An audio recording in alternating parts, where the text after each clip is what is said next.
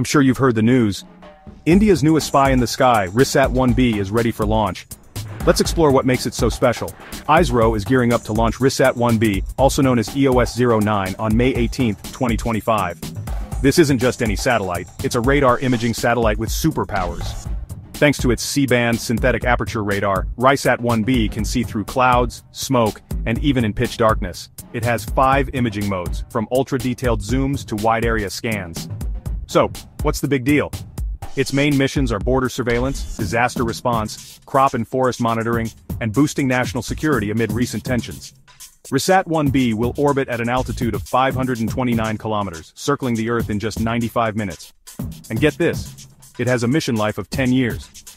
With RISAT-1B, India enhances its all-weather, day-night surveillance, keeping a sharp eye on every corner of the nation. Want more updates on India's space missions? Follow, like, and subscribe.